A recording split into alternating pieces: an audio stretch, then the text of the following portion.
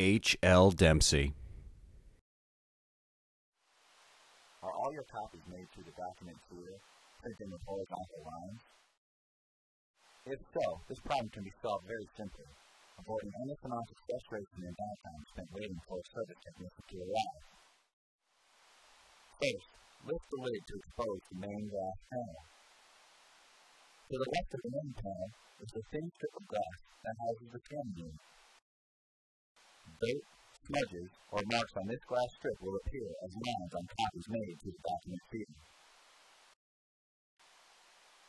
Notice in our example the relationship between the mark on the glass and the lines on the page. Using a soft cloth to paper towel and a non-invasive glass cleaner, fold the units over.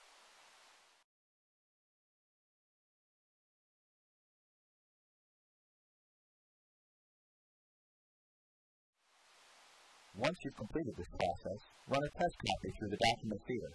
If problem persists, contact your service provider